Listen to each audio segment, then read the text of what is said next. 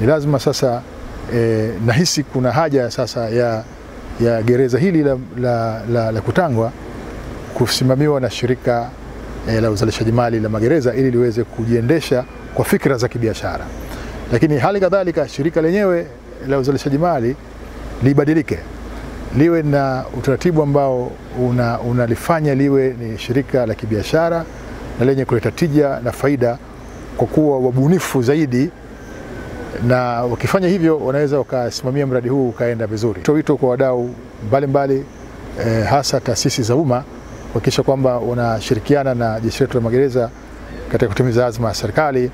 ya kufanya gereza la Kutanga kuwa kituo kikuu cha cha, cha, cha, cha uzalishaji wa michikichi.